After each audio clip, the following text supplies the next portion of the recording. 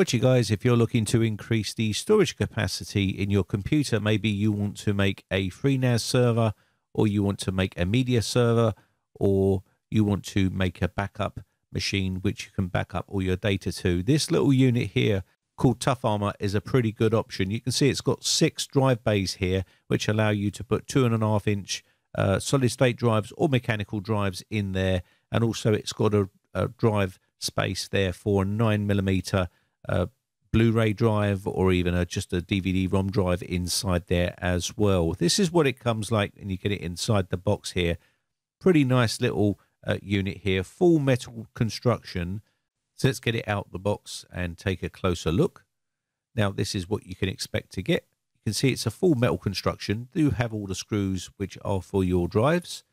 So it can take up to six drives inside here and these drives can be SSD or mechanical drives. Now you can get up to 5 terabyte 2.5 inch mechanical drives, or you can get solid state drives, which are getting bigger and bigger as we speak. They will fit inside these six little bays here, which are hot swappable. And also you've got this DVD-ROM uh, drive here, which you can put a Blu-ray inside here. These has to be nine millimeters in size. You can get these on Amazon and it will slot straight in here. This will make a great media server and you can populate all these with your drives and have all your music and movies on there. Very nice little feature. Even if you wanted to make this a backup uh, server, you could also do that as well. On the back of the unit, we do have that 40 millimeter fan, which does uh, have a speed control on it, also high, low, and off. You've got your SATA ports here for your SATA data cables. Got six of those, and your power ports there as well, and the one to power the device up the top here. They do support SATA 3.0 Gbps and also SAS 3.0 12 Gbps as well on a single channel. So pretty decent anti-vibration technology is built into this device, uh, which also reduces vibration from mechanical hard drives if you wanted to use mechanical drives. Now, just pop the little button here and out slides the tray. Very simple and easy to mount your hard drive or your SSD into these here with the uh, screws that come in the kit as well. This is all metal construction as well. Very nice uh, build quality on this unit.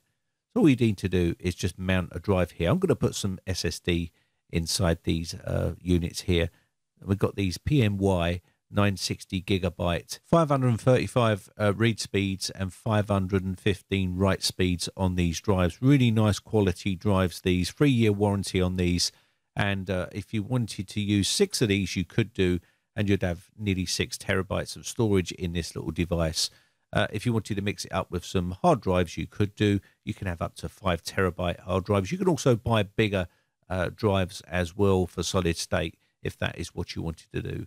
Just put the drive on and use the four screws to screw down uh, the drive and uh, basically slot them into the unit. It's that simple.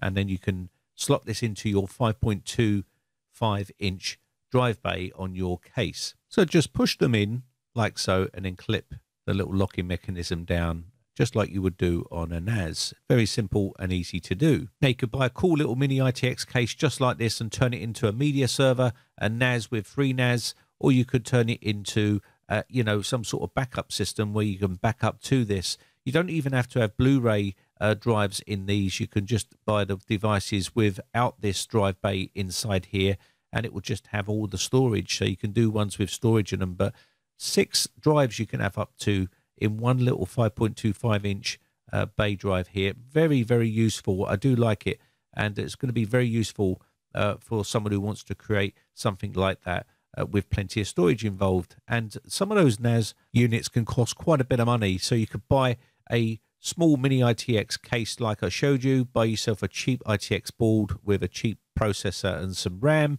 and then buy one of these devices, and you've got yourself literally a backup device or uh, FreeNAS, which you can download for free and turn your uh, little mini PC into a NAS server. Very cheap and easy to do. And uh, if you're interested in something like that, let me know in the comment section below. You can see the LED lights on the drives to show you that drive is populated and working.